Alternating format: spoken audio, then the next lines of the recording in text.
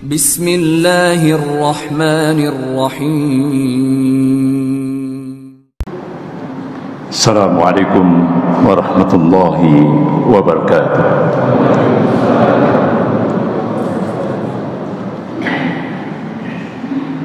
إن الحمد لله نحمده ونستعينه ونستغفره ونعوذ بالله من شرور أنفسنا ومن سيئات أعمالنا. من يهد الله فلا مضل له ومن يضلل فلا هادي له. أشهد أن لا إله إلا الله وحده لا شريك له وأشهد أن محمدا عبده ورسوله. يا أيها الذين آمنوا اتقوا الله حق تقاته ولا تموتن إلا وأنتم مسلمون. يا أيها الناس اتقوا ربكم الذي خلقكم من نفس واحدة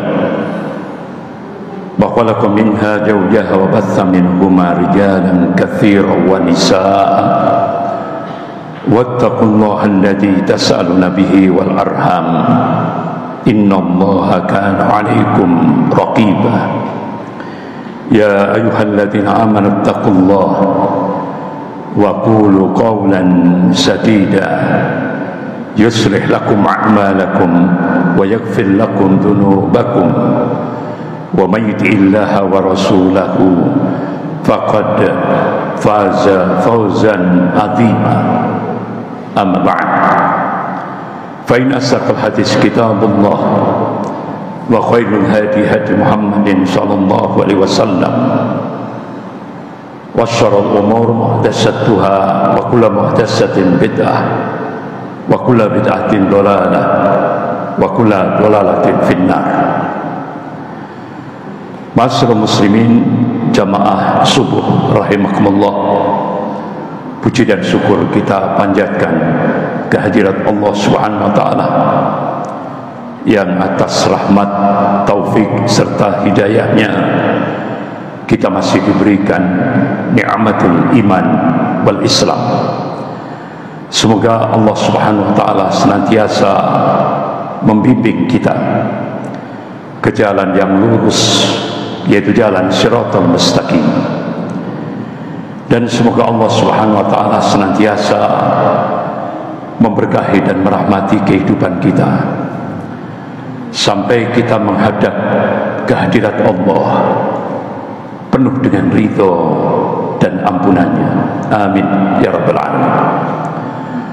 Salawat serta salam semoga tetap tercurahkan pada Rasulullah sallallahu alaihi wasallam beserta keluarga, para sahabat dan pengikutnya yang senantiasa istiqomah dalam memperjuangkan syariahnya dalam menegakkan sunnah-sunnahnya sebagaimana pemahaman para salafus salih Bapak-bapak, ibu-ibu yang dimuliakan Allah Subhanahu wa taala. Ini kita membahas satu tema masa depan Islam dan tantangan umat kontemporer atau kekinian.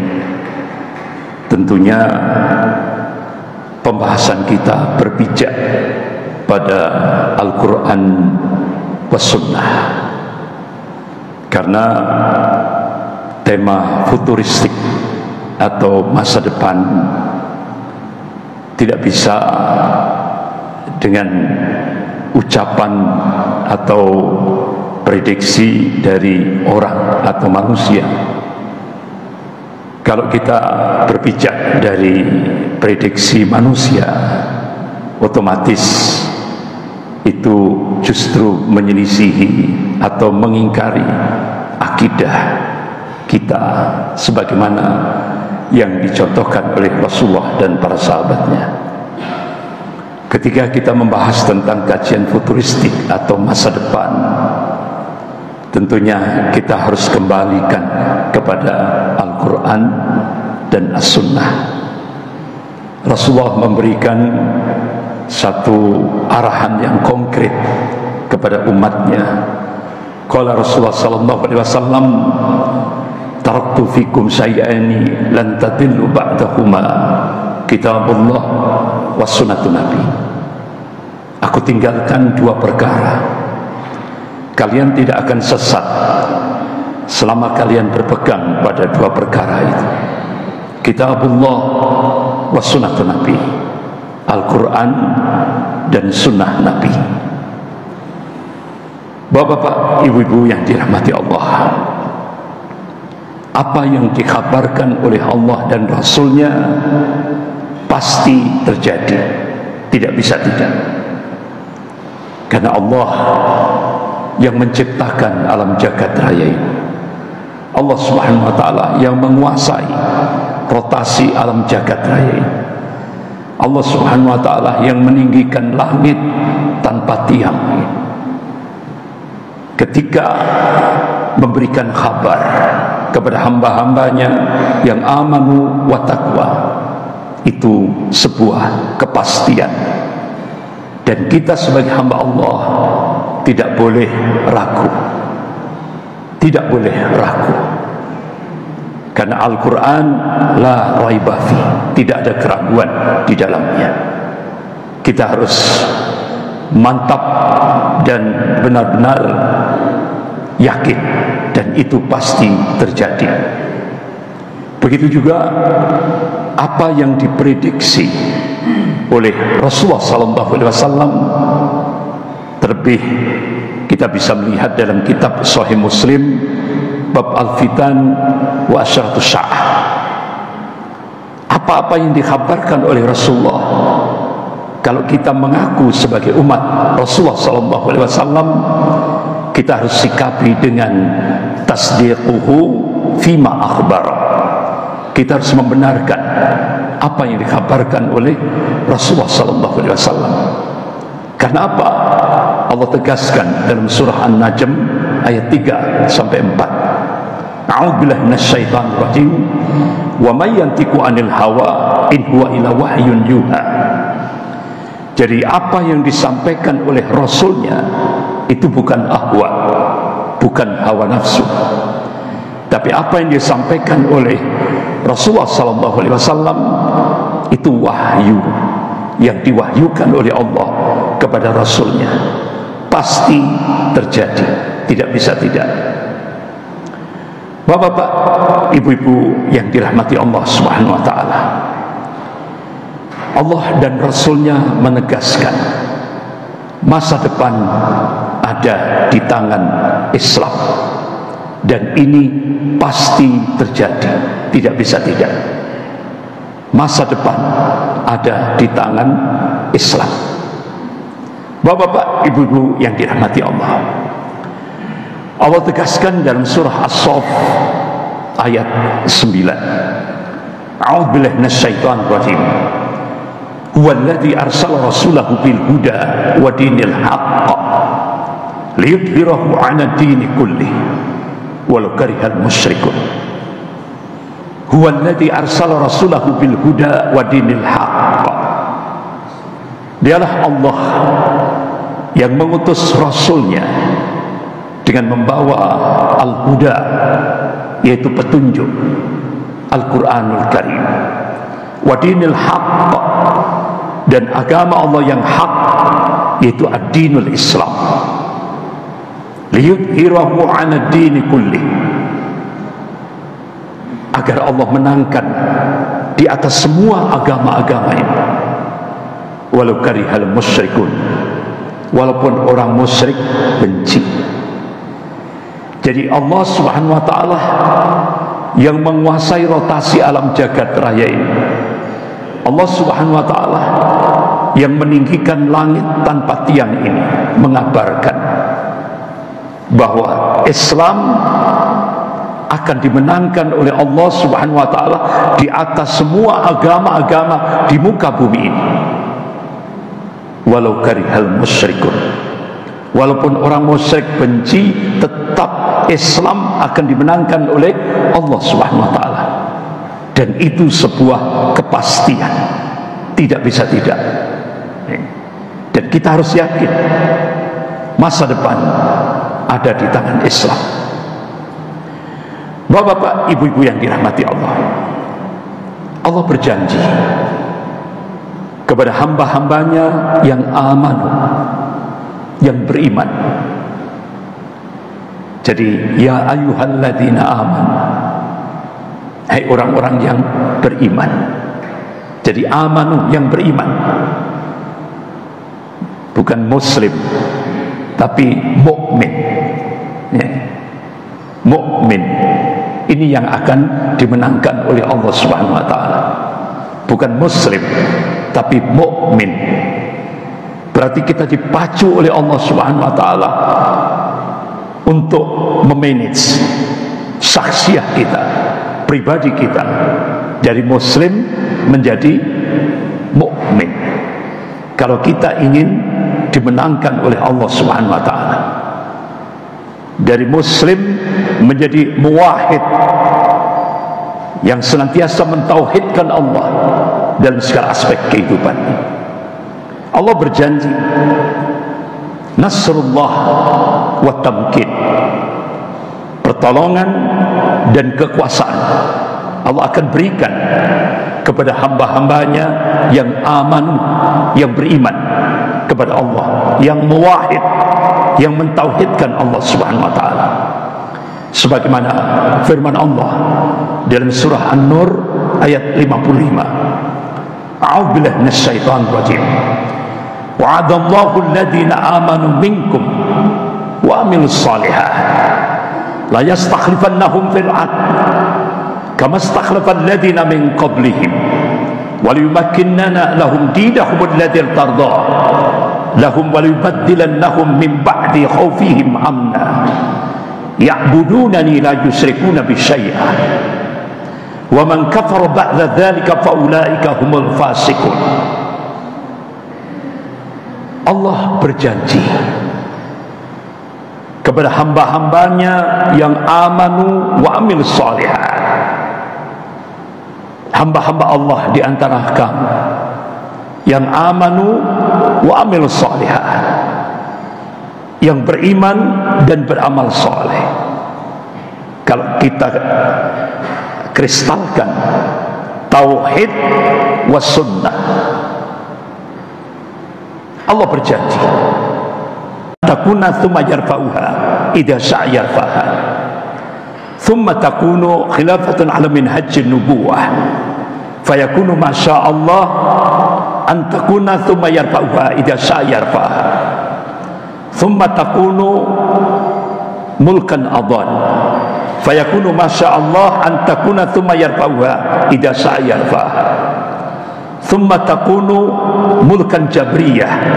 Fayakunu masya Allah antakuna thumma yarfa'uha. Idha sa'yarfa'ha thumma takunu khilafatan ala minhajin nubuwah. Kemudian Rasulullah diam ini hadis sahih. Rawahu Ahmad. Takun nubuah fikum masyaallah antakuna thumma yarfa'uha idza sya'yarfa'ha akan datang kepada kalian masa nubuah yaitu masa kenabian. Kalau kita buka sirah nabawiyah periode Makkiyah hampir kurang lebih 13 tahun. Periode Madinah kurang lebih 10 tahun. Jadi masa kenabian itu kurang lebih 23 tahun. Sesuai dengan apa yang dikehendaki oleh Allah Subhanahu wa taala. Kemudian Allah angkat jika Allah menghendakinya. Thumma takunu khilafatan ala minhaj nubuwah fayakunu masya Allah an takuna thumma yarfa'uha. Idza sa'yarfa'ha Kemudian Allah munculkan periodisasi sejarah yang kedua yaitu masa khulafa urasidin fase khulafa urasidin yaitu masa khalifah Abu Bakar As-Siddiq radhiyallahu anhu. Dilanjutkan khalifah Umar bin Khattab radhiyallahu anhu dilanjutkan khalifah Utsman bin Affan radhiyallahu anhu dilanjutkan khalifah Ali bin Abi Thalib radhiyallahu anhu hampir kurang lebih 30 tahun sesuai dengan apa yang dikehendaki oleh Allah Subhanahu wa taala. Kemudian Allah angkat jika Allah menghendakinya. Thumma takunu mulkan adhan fayakunu masyaallah an takuna thumma yarfa'uha idza sya'yarfa'ha. Kemudian Allah munculkan periodisasi sejarah yang ketiga. Mulkan adhan. Raja-raja yang menggigit yaitu fase Daulah Muawiyah dilanjutkan Daulah Abbasiyah yang pusat Al-Hadrah Islamiyah peradaban Islam ada di Baghdad, Irak kemudian dilanjutkan Daulah Utsmaniyah. Yang puncak Al-Hadrah Islamiyah ada di Andalusia. Sesuai dengan apa yang dikehendaki oleh Allah Subhanahu wa taala. Hampir kurang lebih 13 abad. 1300 tahun. Masya Allah. Terpanjang ini dan ini sesuai dengan apa yang dikehendaki oleh Allah. Jadi Rasulullah mengabarkan golongan mukmin ini pernah memimpin dunia ini sepanjang 1343 tahun. Masya Allah. Luar biasa. Sesuai dengan apa yang dikehendaki oleh Allah Subhanahu wa taala. Dan itu tercatat dalam buku-buku sejarah baik dunia Islam bahkan dunia 54 kemudian hasil risetnya dibukukan. Judulnya Civilization on Trial. Ujian atas peradaban. Jadi karena dia seorang pakar sejarah dunia objektif dia objektif. Dia tulis Islam pernah memimpin dunia ini. Dunia Islam pernah memimpin dunia ini sepanjang 1343 tahun. Diakui kemudian muncullah The Crusade perang salib episode yang pertama. Sepanjang 200 tahun luar biasa ya. 200 tahun. Akan tapi Allah sudah ngasih kabar.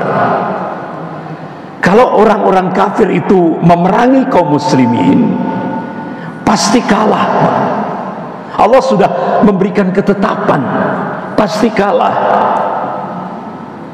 Karena mereka tidak mendapatkan pertolongan dari sisi Allah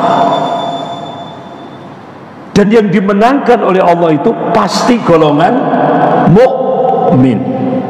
Itu sudah. Akhirnya apa yang terjadi? Hak. Perang salib episode yang pertama. Sepanjang 200 tahun itu dimenangkan oleh kaum muslimin. Dimenangkan oleh golongan mukmin. Panglima muslim yang cukup dikenal dalam sejarah Allah munculkan hambanya yang tangguh. Allah munculnya hamba Allah munculkan hambanya yang soleh yang muttaqin yang mukmin. Salahuddin Al-Ayubi rahimahullah. Sampai Allah munculkan masa yaitu dinasti Mamluk. Akhirnya peperangan perang salib episode yang pertama itu dimenangkan oleh kaum muslimin ternyata perang salib terus berlangsung Kenapa? Allah sudah tegaskan dalam surah Al-Baqarah ayat 217. A'udzubillahi minasyaitonir rajim. Wala yazaluna yuqatilunakum hatta yardukum an dinikum in. Karena di dalamnya ada huruf lan. Maknanya selamanya. Berarti ila yaumil kiamat. Jadi perang salib itu bapak-bapak ibu yang dirahmati Allah akan terjadi sampai yaumil kiamah tidak akan pernah selesai